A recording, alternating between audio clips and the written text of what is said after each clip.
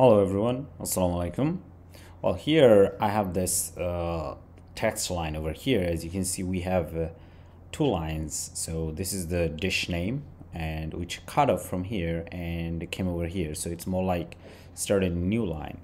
But now um, I don't want really to have it like this. So I want it to continue like to have dots, okay, or just one line now, if I first want to put it in one line, so this is my text widget over here. Over here, I can simply set up something called uh, max lines, okay, and set it set it to say one. Now that it be gone. Let's save it.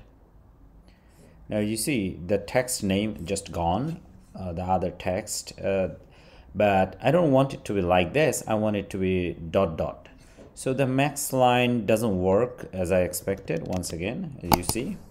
So if I take it out, I see two lines. If I put it back, I see one line, okay? But what I want, I want one line as well as dot dot, okay? Well, to do that, we can use another property of text widget, which is called overflow. So here we do text overflow dot uh, ellipsis, this property okay so now as you can see I have this three dots okay? And a lot of the apps they use this uh, style so that's what I'm going to do and I did. But now here there's another problem. Uh, in general uh, your text should be wrapped around certain constraint which means certain width. So here my text widget over here inside this uh, container widget and container widget has a column. Inside column I have this text and this container widget has this width. So because I have this width so that's why this dots the work. So let's see I can reduce the width say I just put 200 okay? Now as you see I still have this dots over here okay? All right so uh, I can do it even 160 and let's see. So now we have this uh, overflow issues all right? Uh, sorry um, okay now here we do have this overflow issues all right? Uh, so the width doesn't really work well because on different devices you might have different width and there is no way to know or calculate. So width is not the option to have this overflow. Yes if I put it say 260 let's say yes it works but 260 I I think it is 260 over here, so that's why it works. But most devices with you wouldn't know. You can guess it, but you wouldn't know it, right? So how to solve this problem? Uh, well, first thing we learn that overflow gives us the dots, but now it depends on the width. But we don't want any hard-coded width here. We want it to be dynamic, okay?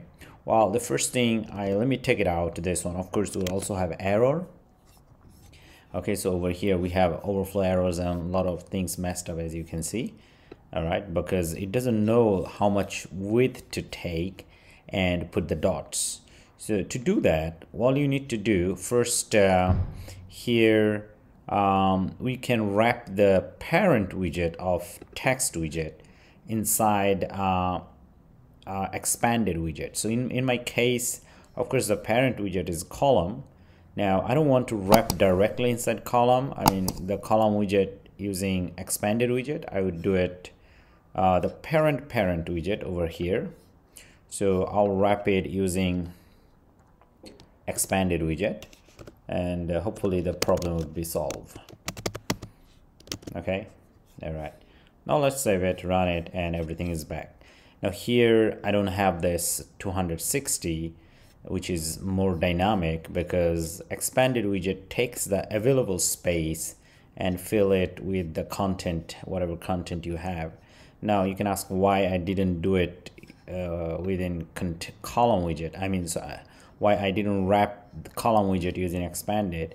Now if I directly wrap this one this column widget inside wrap uh, inside uh, this expanded it'll actually it'll take up and down a lot of the space up and bottom. But I want it to take in the row because I have this row widget.